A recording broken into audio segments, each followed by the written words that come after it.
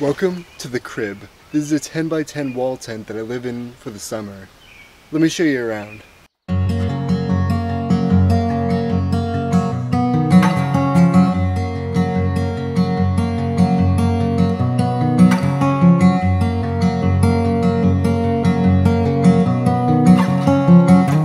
I'm living in this 10 by 10 wall tent for the summer. It's on a 100 acre property outside of Asheville in the Blue Ridge Mountains.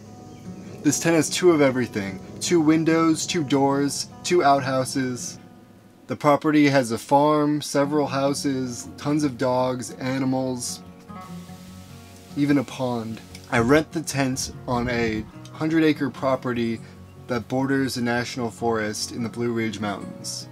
I'm surrounded by mushrooms and plants, and I go foraging every day and build campfires. The tent is from Wall Tent Shop. It's a 10 by 10 canvas tent, and it holds up nicely in the summer rain as well as it stays cool in the summer heat. My neighbors have two white duck tents, and these are another excellent brand of wall tents. Further into the forest, there are a few more structures that are standing on the land. This amazing pavilion was just recently built, and it's going to be used to host all sorts of events here in the woods. When I'm hiking through the woods and wilderness, I always keep an eye out for edible mushrooms, like this lobster mushroom. These are delicious and taste similar to seafood like lobster or crab. Here we have a bolete that stains blue whenever it's bruised or cut. There are several varieties of boletes that stain blue, and some are edible, but you always want to get a positive ID to make sure you have the right mushroom. Boletes are a major category of mushrooms that are often sponge-like with big caps.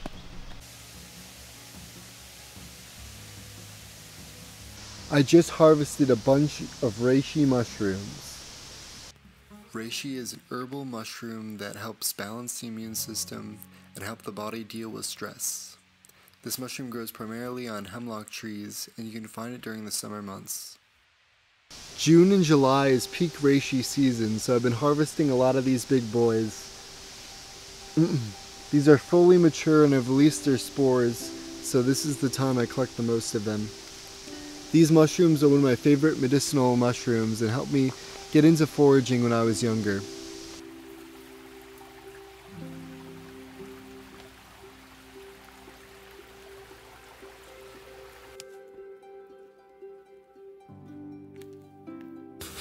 After I harvest the mushrooms, I clean them and then I dry them in a dehydrator. I use these mushrooms to make tea and tinctures. You can find dual extracts of these mushrooms on my shop, sonofabear.shop. Late June and July is also peak season for chanterelles in North Carolina. The miniature cinnabar chanterelles are often the first variety to fruit. These chanterelles are tiny, but they're extremely vibrant. So today we're going to be making chanterelles with s'mores over a campfire. These are a fairly sweet mushroom. They smell like apricots, so we're going to see how well they go on s'mores.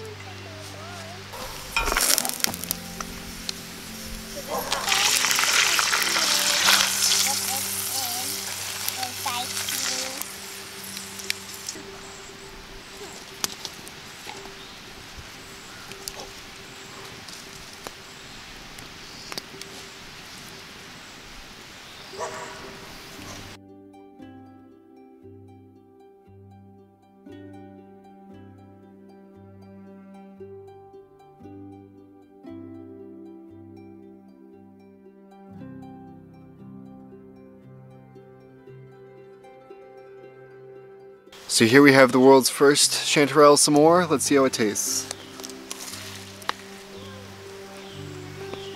Not bad. Mmm.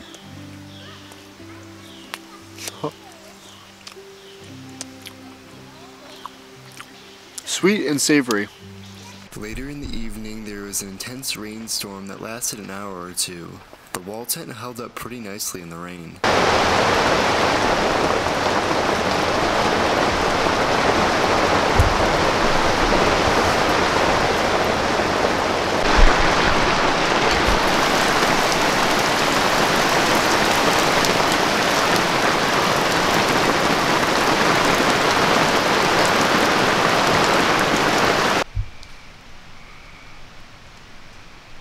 After the rainstorm, we had a calm and peaceful night.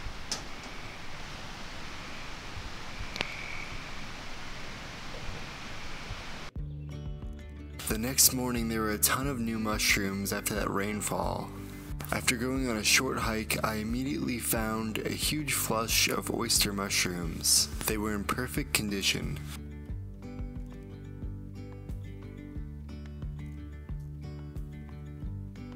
Winner, winner, chicken dinner. I found this massive chicken of the woods mushroom growing on a hardwood tree in my backyard.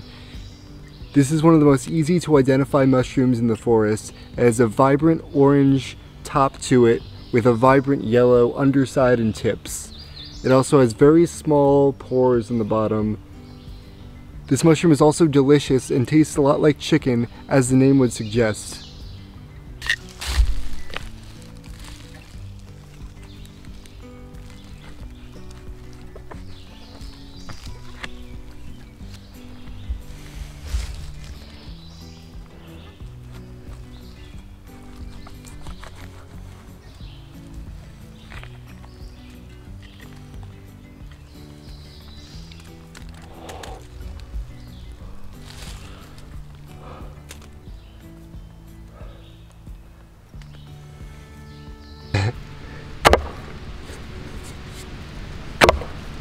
This is so fun. I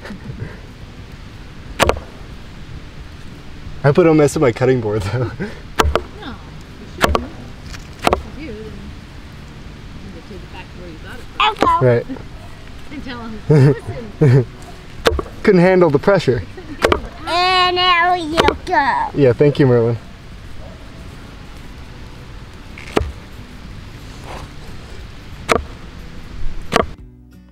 I'm gonna use the chicken of the woods mushrooms I foraged to make one of my favorites, barbecue chicken pizza.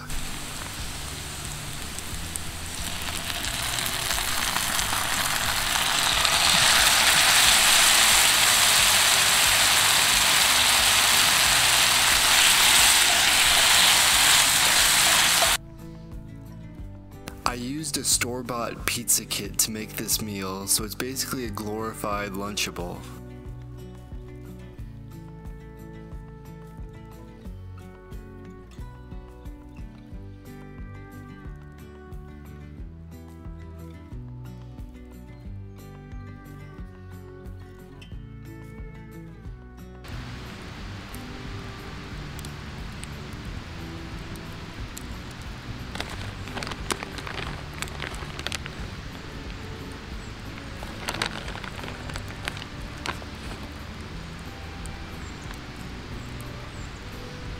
We're putting the mushrooms on the pizza.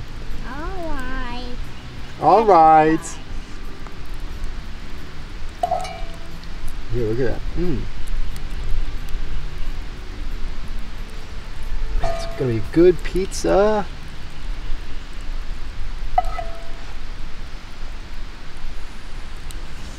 Yum! Yum. Pizza. The movie time. Mm. Yeah. The barbecue chicken pizza turned out fantastic. I highly recommend making this if you find some chicken of the woods. It's movie time. Movie time. I love movie time. Me too. Movie and pizzas. It's movie time on this day. Yeah.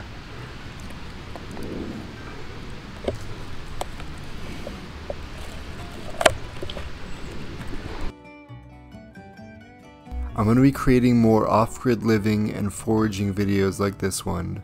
So subscribe if you haven't yet, and stay wild my friends.